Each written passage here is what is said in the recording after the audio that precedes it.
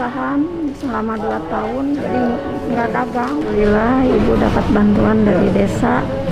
Eh, ini uang buat modal. Ini dapat bantuan dari PLE Dana Desa tiga amplop, satu amplopnya 300 jadi 900 jumlahnya. Ini mewakili dari mertua saya yang sakit lumpuh. mudahan ya nanti musibah ya teh singgera singgera sepertos saya dari sepertos tipayun